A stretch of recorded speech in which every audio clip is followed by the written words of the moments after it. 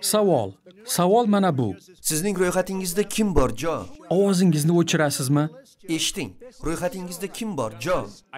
Bu prezidentlikka hech mos emas.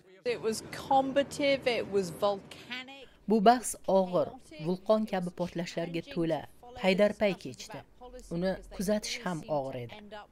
Chunki debatda ishtirok etayotganlar bir-birlarini bo'lar, so'z bermas va so'z ustidan gapirardi.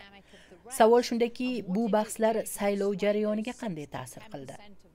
6 yoki 10 foiz hali qaror bermagan saylovchilarni qaysi tomonga og'dirdi? Prezidentning maqsadi ham saylov jarayonini o'z foydasiga o'zgartirib yuborish edi.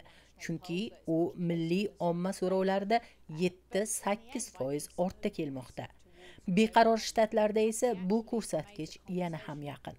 Bahslar oxirida u e'tiborni o'zining Baydenga nisbatan tajovuzkorligiga qaratib qo'ydi.